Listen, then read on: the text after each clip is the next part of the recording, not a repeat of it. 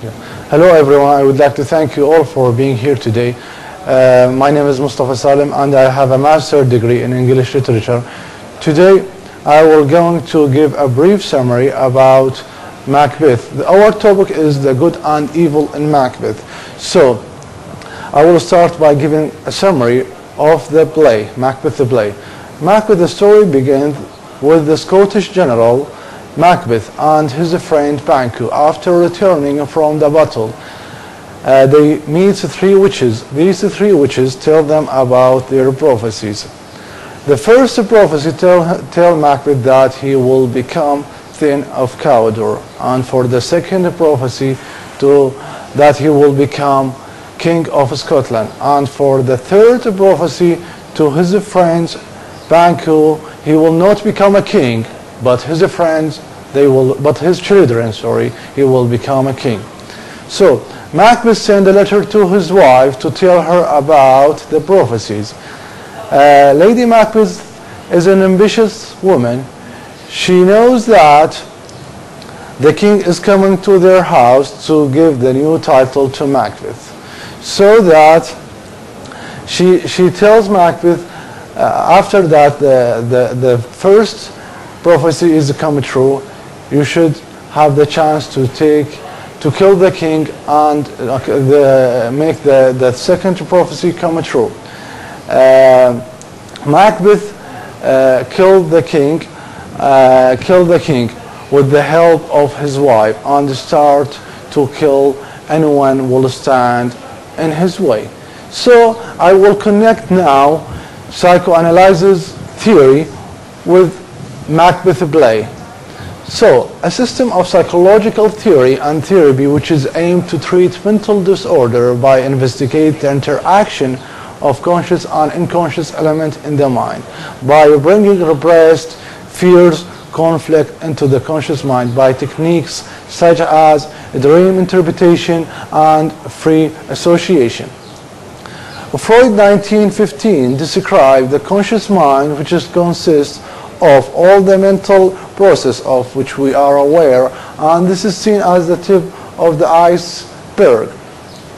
According to Freud, uh, the unconscious mind is the primary sources of the human behavior. It's like an iceberg. The most important part is the part that people cannot see. So I will applying psychoanalysis to Macbeth. So as we see now in this picture, Lady Macbeth, she whispering to her husband, Macbeth, and she attempt to convince him to kill the king. So, for the id, which is the willing to kill his beloved leader and gain ultimate power, this is represent the evil side of our mind, which is Macbeth was following his evil side and doing evil things and the criminal things. So, and for the, about the ego, the, his ego tells him that he should not kill Duncan because he is a uh, guest in, in his home.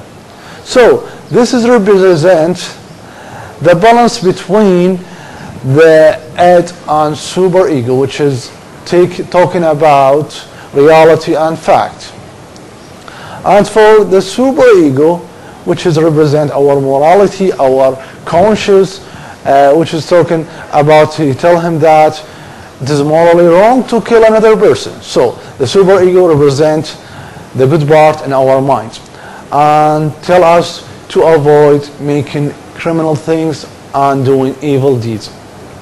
So, evil behavior. What does this picture mean?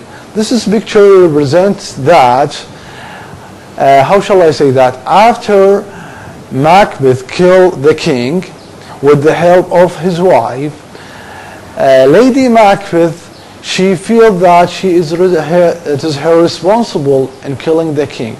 She feel guilt. So this pictures mean that it is a sign of what is a sign of guilt.